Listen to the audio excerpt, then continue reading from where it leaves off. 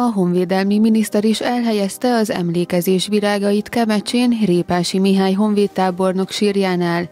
Az a forradalmi szellemiség, ami 1848-ban több országban is megjelent, végül Magyarországon érte el a csúcsát, itt alakult igazi szabadságharcá, hangzott el Benkő Tibor ünnepi beszédében.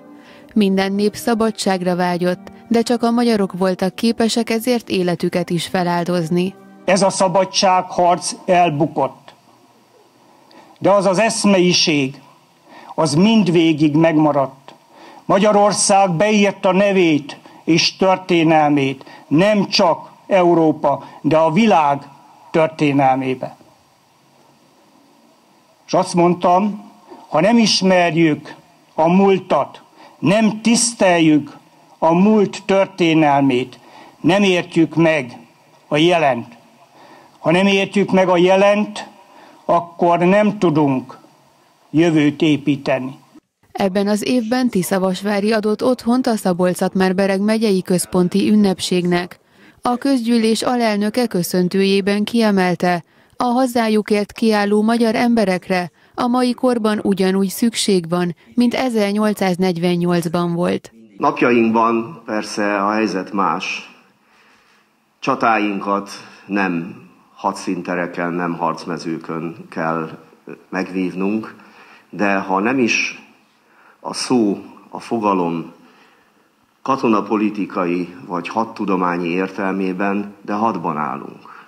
Alig ha téveszthetjük szem, elő, szem elől azt a tényt, hogy sorsfordító időket élünk, és épp oly nagy szükség van a helytállásra ezeken a hadszíntereken, idézőjeles hadszíntereken, ahol nem fegyveres harcok folynak, hanem az ész, az értelem és a szív fegyverével kell küzdenünk azért, hogy megőrizzük azt, amit örökül kaptunk, és amelynek érett gyümölcsét ma élvezzük, a ma élő generációk.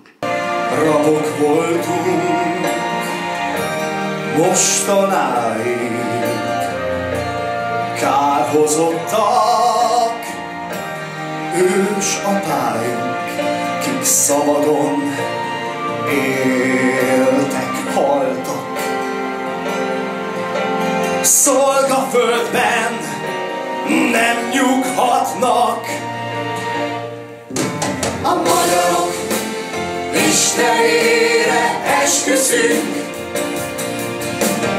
esküszünk, hogy rabok nem leszünk. A forradalom politikai vezetői között találjuk az első kormány elkötelezett tagjait. Ők nem csak nevek voltak, hanem közkedvelt egyéniségek is, akiket tudásuk és tapasztalatuk lehetővé tett egy születő nemzet irányítására. Emelte ki ünnepi beszédében a térség országgyűlési képviselője. Kevesen tudják, de 1848 tavaszán Pest-Budán volt Európa egyetlen vértelen forradalma. Példaértékű nemzeti összefogással válvetve küzdött a jobb jövőért a plebejus költő, a tanult ügyvéd, a magyarság ügyéért elkötelezett arisztokrata, a katonai pályára lépett nemes. A Magyar Sajtónap alkalmából Zépintje Zsolt, a Nyíregyházi Televízió riportere vehette át a szabolcs bereg megyei közgyűlés emlékérmét az elmúlt közel húsz év munkájának elismeréseként.